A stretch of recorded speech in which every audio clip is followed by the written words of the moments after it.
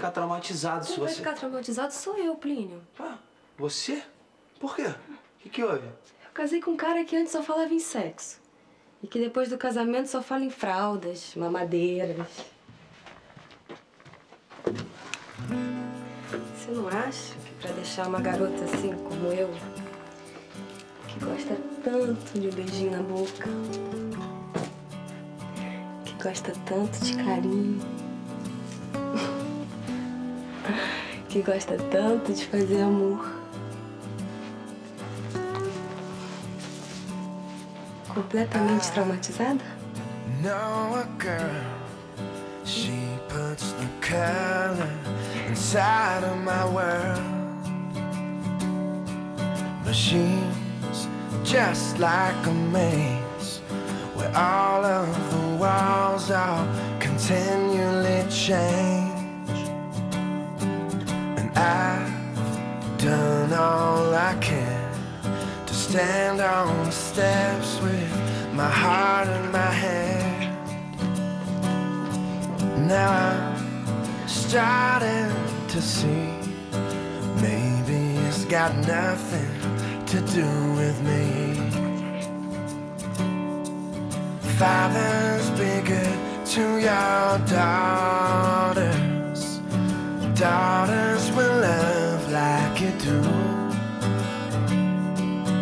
Girls become lovers who turn into mothers. So mothers be good to your daughters.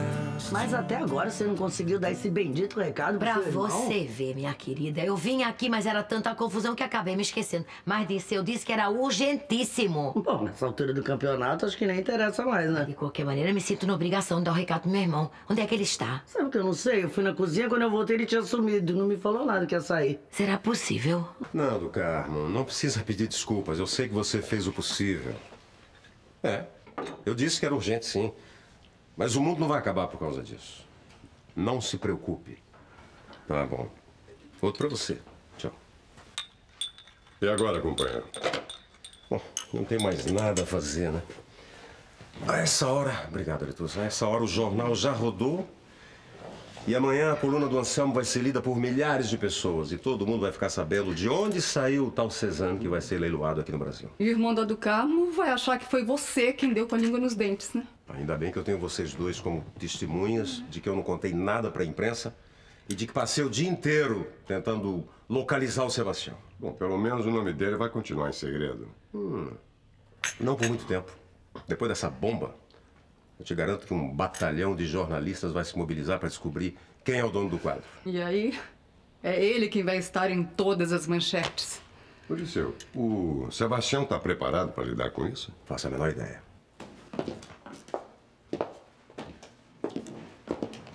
Ô, Maria do Carmo. Sim. Você quer parar de andar pra lá e pra cá, feito uma galinha que não sabe onde chocar o ovo? Tá me deixando mareado. Ave Maria, me desculpa, Giovanni.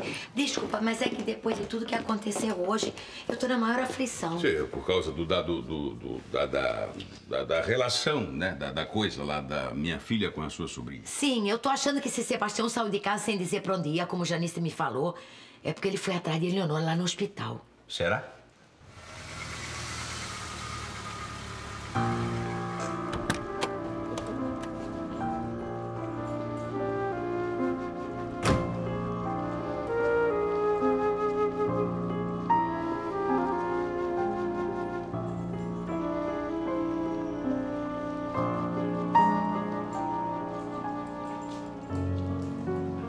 Sabe o que é, Claudinha?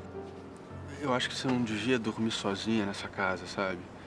Eu tô te falando numa boa, entendeu? Eu posso, eu posso dormir aí com você, na- no quarto da Isabel, ou então no, no sofá da sala, Roberto, eu sabe? agradeço a preocupação, mas acho que agora eu tô precisando ficar sozinha. Tem certeza? A, a gente pode continuar conversando também. Quer dizer, o papo tá ótimo, mas aqui eu tô morrendo de sono. Eu preciso mesmo é de uma cama agora. Tem certeza? Tem certeza que você não vai ficar com medo, Roberto, né? eu tô com tanto sono que eu não vou nem ter tempo de ter medo. Assim que eu cair na cama, eu vou dormir, na boa. Valeu, viu? Obrigada, boa noite.